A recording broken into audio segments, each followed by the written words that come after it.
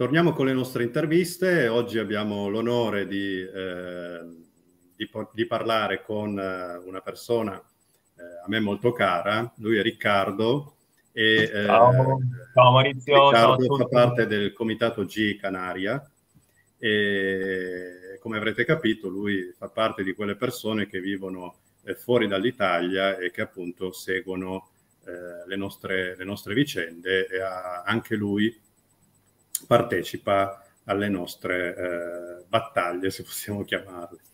Eh, Riccardo, eh, dici intanto chi sei e eh, prego, a te la parola. Ok, ok. Allora io sono Riccardo, ho 52 anni, sono nato e cresciuto all'isola d'Elba, dove ho praticato da sempre, fin da quando ero bambino, windsurf, surf, e all'età di 39 anni ho deciso di trasferirmi alle Canarie per affrontare l'oceano e continuare a praticare questo sport che a me piace tanto. E quindi dal 2009 vivo qua a Forteventura.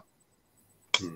Diciamo Dove... che tu, perdonami, questo sport tu lo pratichi comunque a livello amatoriale. Amatoriale, no, in Italia ho fatto anche delle tappe del campionato italiano quando ero più giovane però da, diciamo, da quando sono qua sì a livello amatoriale, anche perché mm. ormai l'età non me lo permette più di, di competere a livelli più alti, diciamo. Certo.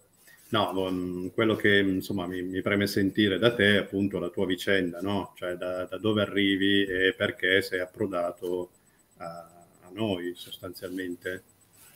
Sì, allora diciamo che io da quando sono qua, dal 2009 fino al 2016, quindi fino ai 46 anni, il mio corpo ha retto bene a tutte le sollecitazioni, agli sforzi, perché comunque il windsurf è uno sport molto impegnativo e molto esigente a livello di, di prestazione fisica. Diciamo, io fino ai 46 ci ho dato giù senza ritegno e non ho avuto particolari problemi se non chiaramente il, la schiena normale, la fatica dopo 3-4 ore di sport in acqua, eh, un po' di fatica si sente. Immagino Quindi, poi con quel vento e quelle onde, insomma. Eh, esattamente, esattamente, insomma. Poi tu non sei uno che si risparmia. No, no, no, non mi mai risparmiato. Ecco. Mai. Mm. La mia filosofia era si esce quando si hanno i crampi. Ecco. e finché... Poi cos'è capitato, insomma? Hai all'età di 46 anni, mi ricordo fine estate 2016, ho cominciato, avuto, ho cominciato ad avere sintomi strani, come formicolio alle mani, senso di sbandamento, confusione mentale, eh, rigidità qua ai muscoli del collo, certo. cose che non avevo mai avuto prima e che sono arrivate tutte insieme. E quindi io, insomma, mi sono un po' spaventato, crisi di ansia, non riuscivo a dormire la notte, tutta la sintomatologia che poi nel tuo libro e con te abbiamo approfondito. E che... Perdonami, ma eh, se voglio approfondire su una cosa, tu ti ricordi un evento particolare oppure una cosa sì. che è arrivata il primo campanello di allarme è che mi ricordo che quando andavo sulla tavola girato a destra avevo una vertigine pazzesca in acqua, mi girava tutto, mentre mm. quando andavo con la testa girata a sinistra no. E al momento ho pensato, boh, stamani ho fatto poca colazione, magari sono più debole, però era veramente strano, era un capogiro talmente forte, come quando ci si alza velocemente da terra, che c'è quei due o tre secondi. Certo. E boh, quella è stata la prima bisaglia, è finita lì però, ho detto, boh, vabbè, sarà stato un giorno strano. Poi però eh, la notte, quando mi giravo, cambiavo posizione, anche lì partiva la vertigine un'altra volta, e quindi cominciavo a dire, ma cosa sarà? Cosa sarà? Finché poi, eh, come ti dicevo, a fine agosto 2016 è arrivata la mazzata e mi sono svegliato una mattina veramente male, veramente con il primo attacco di panico che non sapevo cos'era perché io ho mai avuto cose del genere. Eh, nausea, sono andato a fare colazione, non avevo fame, attacco di panico che comunque, eh, insomma, mh, la sintomatologia dell'attacco di panico è quella classica della insomma, sudorazione, tachicardia. Sudorazione, cuore accelerato, cuore senso accelerato. di non, non sapevo alle 8 di mattina, che di solito uno si alza a fame, fa colazione, eh, quindi mi sono spaventato, ci ho messo su il carico, ho detto, boh, che, certo. che certo. cavolo mi sta succedendo? E quindi ho cominciato a fare il giro del dottorino qui della, della clinica che abbiamo a Coraleco, che la sua risposta quando gli ho, gli ho, descritto tutti i miei sintomi, mi ha guardato con, con gli occhi da pesce, chiaramente, mi ha detto fai una bella colazione con burro e marmellata. Ho detto, boh, ok, qui non se ne viene fuori. Andiamo dall'osteopata. Mm. L'osteopata mi, dis- mi guardò e mi disse, eh, sei storto. Però è normale perché dice tutti abbiamo una parte del corpo più forte dell'altra. Due settimane si risolve, due massaggi, un po' di agopuntura e sono andata avanti così tra un osteopata, un fisioterapista, un fisioterapista e un osteopata per un annetto, eh, non venendo a capo di nulla. E quindi poi ho cominciato a cercare su internet, come fanno un po' tutti, e ho trovato il sito di Atlantotech. Mm e dove guardando con quelle testimonianze tutti parlavano io, più o meno io preferirei non fare nomi però l'hai fatto tu quindi va bene. Ah, il Atl- Atlantomed perché l'ho fatta a ah, Madrid. ah, okay. non sono andato in Italia l'ho fatta a Madrid. Questo Atlantomed dove guardando le testimonianze di questi ragazzi tutti descrivevano più o meno i soliti sintomi la vertigine, l'acufene eh, la, la, confusione mentale, la, la fornicoli alle mani, e ho detto, boh, certo boh, questo ce l'ho, questo ce l'ho, ok, andiamo a fare l'Atlantomed. Quindi prendo il mio volo Ryanair, vado a Madrid, eh, mi fanno firmare un foglio tipo una liberatoria, non so bene cosa era, ma io da ignaro, mai avuto queste cose, ho detto ok, andiamo sotto. E mi hanno martellato per un quarto d'ora, 20 minuti. Eh, devo dire che il massaggio è ancora, ancora piacevole, perché questo martello del letto che ti vibra, insomma, ti rilassa un po' i muscoli. Quando sì. poi te lo, te lo, pianta qua nell'Atlante non è più piacevole per niente.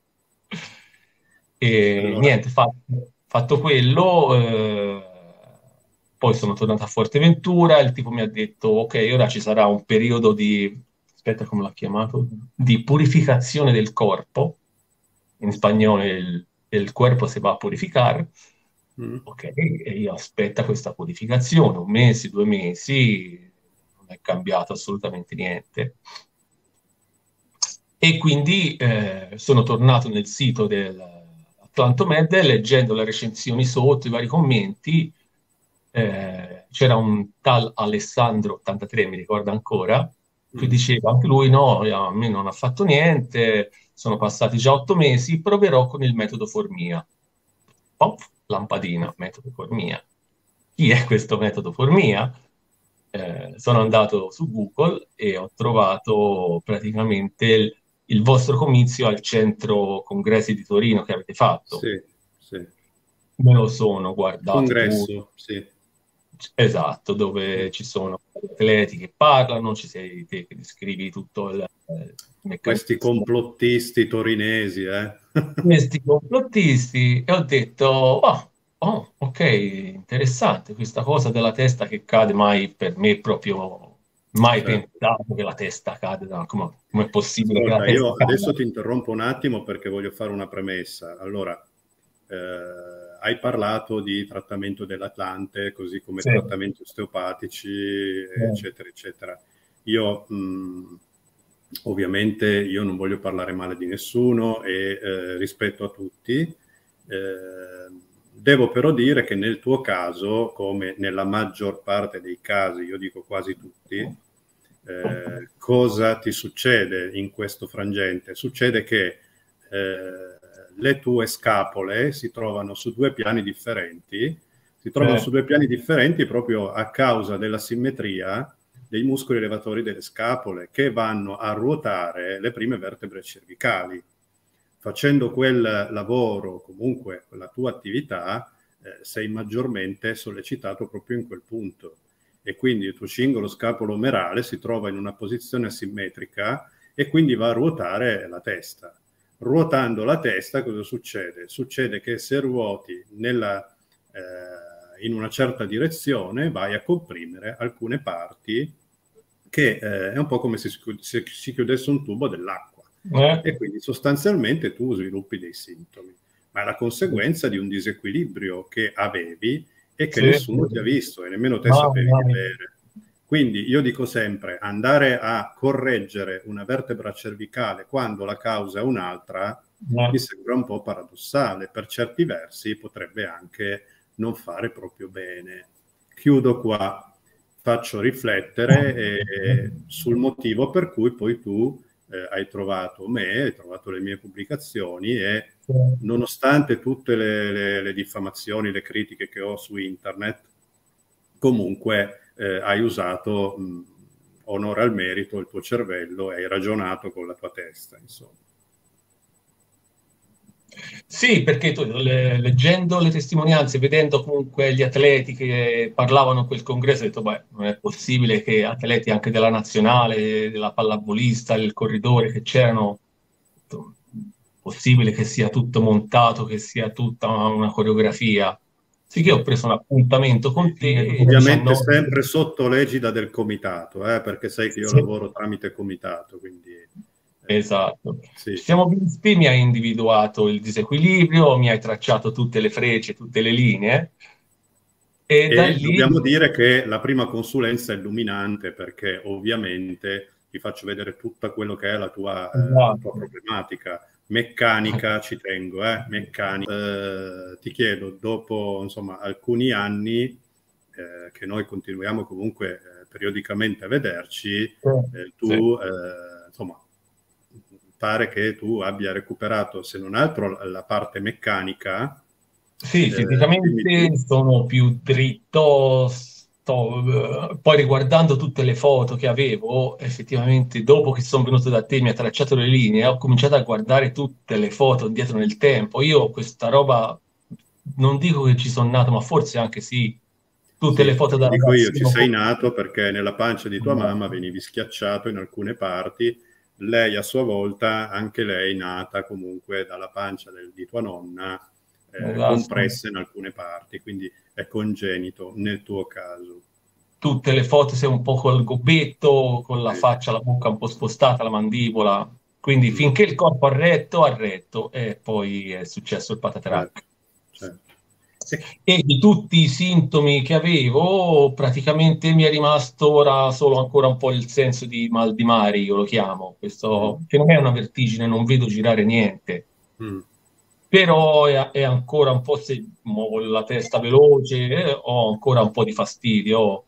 Chiaramente. Io sono ancora un sono solo due anni che vengo da te. Sì, sì, no, ma chiaramente io te lo dico perché, perché comunque eh, nel tuo caso eri in una condizione particolarmente eh, avanzata, cioè non eri tra i casi più, eh, si dice mh, mm, meno gravi, ma in realtà non c'è grave o meno grave. Mm-hmm eh, avevi un disequilibrio insomma abbastanza importante. Quindi eh, lo, lo, sentivo che, che, avevo qualcosa che non andava, che non bastava il massaggio dello scheletro. E soprattutto tu comunque eh, non hai mai o comunque per poco tempo hai rinunciato alla tua attività, quindi c'è da dire che eh, hai proseguito e nonostante tutto da quello che mi dici hai avuto comunque dei miglioramenti sia in stabilità che in, in performance, passami il termine. Sì, mi stanco meno, cioè, riesco a finalmente andarmi a mangiare una pizza, mentre prima come entravo in un ristorante, in una pizzeria con tanto rumore e tanta gente, io dopo cinque minuti ero ubriaco, veramente.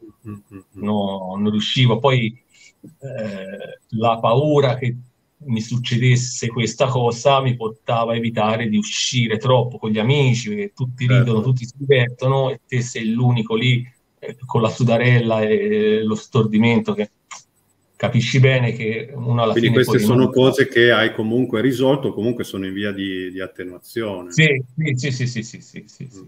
Oltre ad essere più dritto, perché io, insomma, quando vieni qua Oltre... oggi vedo quello quando, completamente quando, vengo, quando vengo Come? tutte le volte mi dici eh, quello di, me lo stai dicendo te anche volta a volta che le piccole sì io non le noto cioè prima mi ricordavo sì una spalla ero mm. storto veramente e ora ancora tu mi dici ok manca ancora un pochino spostiamo questa mandibola spostiamo un pochino la clavicola però esatto. siamo diciamo a, a, alla fase del dei ritocchi, se li possiamo eh, chiamare. Ragione per cui io ti sto intervistando, altrimenti non ti intervisterei. Comunque, io mh, direi che eh, dopo eh, quasi 20 minuti, se hai ancora qualcosa da aggiungere, io sono molto, già, molto contento di quella che è stata la tua eh, testimonianza eh, direttamente da, diciamo, da, da, dall'Oceano Atlantico, no? E colgo l'occasione per dire che non sei... Prego? Dal profondo Atlantico, no, dal medio Atlantico siamo. Sì, comunque colgo l'occasione anche per dire che tu non sei l'unico eh, del Comitato Canarie, perché ci sono altre persone che comunque vengono da, dalle, da quelle bellissime isole e non sono nemmeno tutti italiani, quindi a maggior ragione per sottolineare che... Eh, insomma, oggi è una. È una realtà ormai internazionale, diciamo esatto. così. Mm? Eh, sono molto contento di averti sentito e niente, ti auguro eh, tante onde. E... Tanto vento, tante onde e tante surfate.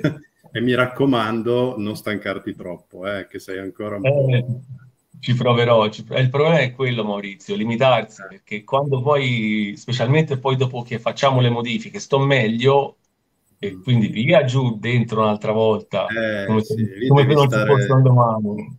Non voglio comunque entrare nei tecnicismi, ok? per adesso ci fermiamo qua, avremo modo di risentirci. Hm? Sì, sì, c'è ancora qualcosa da aggiungere, ma io Ah, che, che, aggiungere? Posso... Eh, che non ritorni all'isola d'Elba.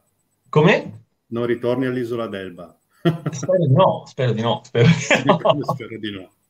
Ci torno a trovare la famiglia, a trovare mamma, la sorella, a vedere gli amici, però no, io con l'Italia eh, fortunatamente ho chiuso, sto molto tra bene. L'altro, tra l'altro, facciamo pubblicità, tu hai anche un'attività di eh, su internet, sul tuo canale YouTube, vogliamo ricordarlo. Ah, la, musica, guarda, sì, la mia passione secondaria dopo il windsurf e la musica, si vedono anche le chitarre, sono qua eh, dietro. Vediamo, cioè, vediamo, infatti. Eh. Ci sono sì, due, due mani di chitarra e mi diverto a fare musica elettronica anche, ho un canale abbastanza seguito, devo dire anche. Che si chiama?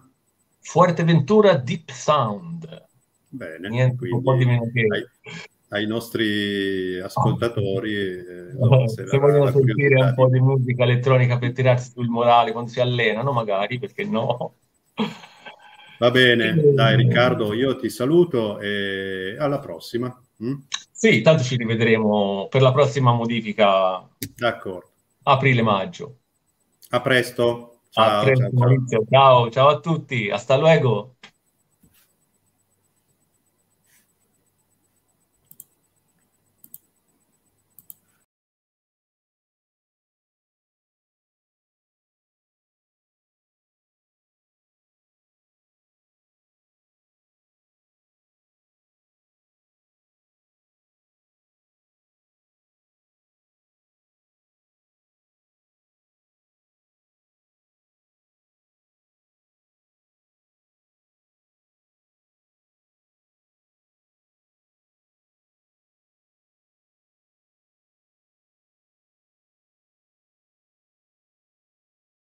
E ci siamo